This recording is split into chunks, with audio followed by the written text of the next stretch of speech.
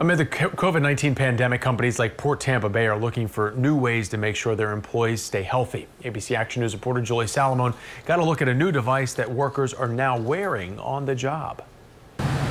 Port Tampa Bay is Florida's largest port. Within the past week, fresh produce, consumer products, and essential goods move through the port. Employees there are essential. We bring the goods that everybody uh, out there uses every day, starting with gasoline. Paul Anderson, president and CEO of Port Tampa Bay, says protocols are in place to make sure employees come to work healthy.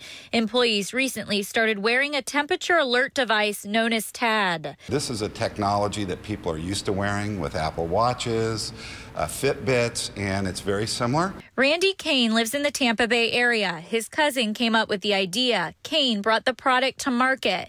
TAD takes a person's skin temperature every 15 minutes. It lights up green if their temperature is normal. The average company, they're just taking temperatures, you know, when a, an employee comes to work.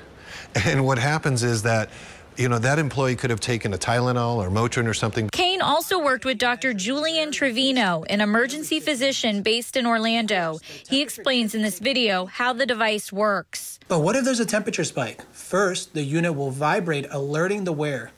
If it's showing amber or red, well, that could mean there's a health issue on the horizon. Anderson says the device does not replace temperature checks at Port Tampa Bay, but it's another tool to keep employees safe in the middle of a pandemic. We felt this was just a very cost efficient way to enhance what we're doing. In Tampa, Julie Salomone, ABC Action News.